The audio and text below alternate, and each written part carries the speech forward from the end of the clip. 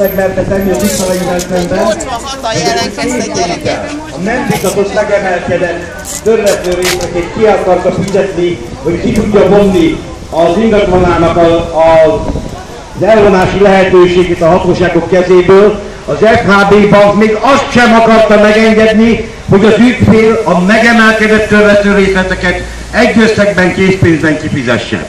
Mindez azért történt, mert ők arra mentek rá, amikor ezeket a hiteleket kiadták, hogy elvegyék az ügyfeleknek az ingatlanait.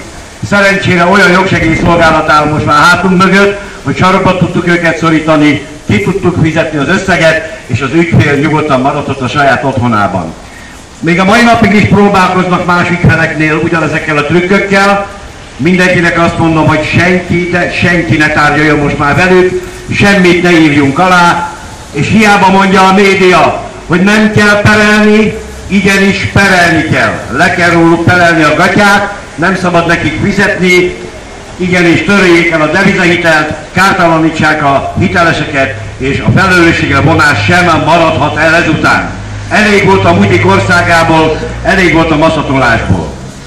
A hétfői kúriai irányadás azt mutatja, hogy ez a bátor csapat, aki most már két éve folyamatosan nap mint nap küzd, és a jog által megengedett módszerrel, a maguk módszereivel folytatják a harcot az oligarchák ellen, abba a szakadba léptek, hogy bizony ez a bátor két-háromszáz ember, akiről most itt van kb. 50-60, meg fogják nyerni ezt a csatát, akkor is, amikor azt mondták, hogy a bankokkal szemben nem lehet nyerni. Hát igenis lehet, és megmutatjuk a magyar kormánynak, hogy neki is ezt kell tenni.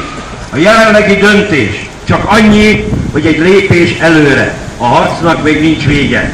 A devizahitel kérdést együtt kell kezelni az államadóság kérdésével, ugyanis nem csak a lakosság van adóságcsapdában, hanem maga az állam is.